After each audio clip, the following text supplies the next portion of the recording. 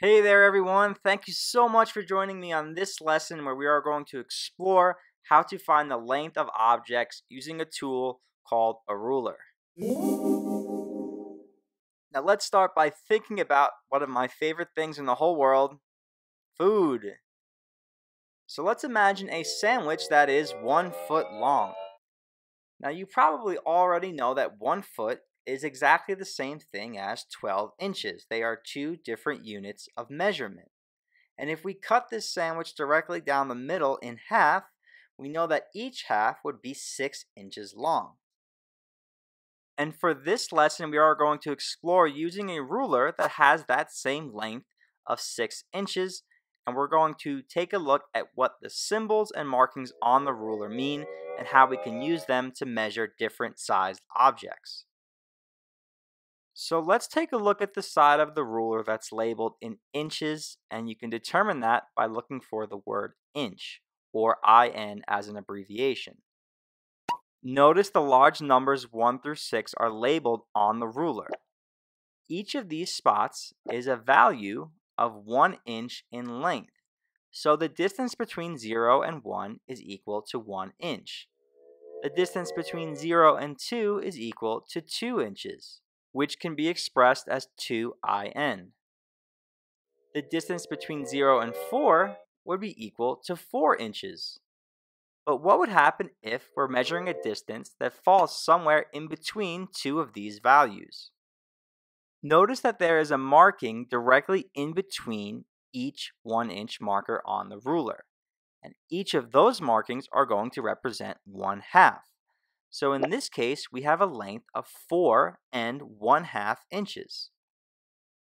Now, what if we push our measurement a little bit further so that it's in between a whole number and a 1 half?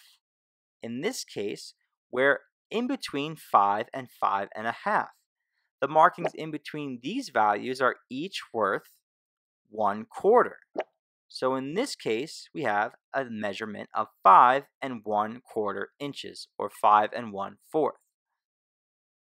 And if we push our length a little bit further so that it's in between 1 half and the next whole number, we can conclude that this length is equal to 5 and 3 quarters, or 5 and 3 fourths.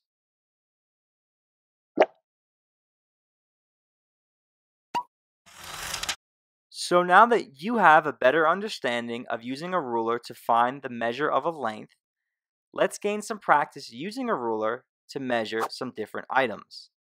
So let's start off by finding the height of this piece of candy.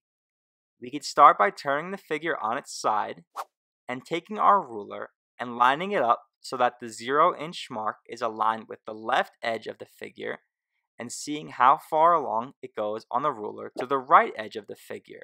In this case, this piece of candy has a length of one and a half inches. Oh, yeah.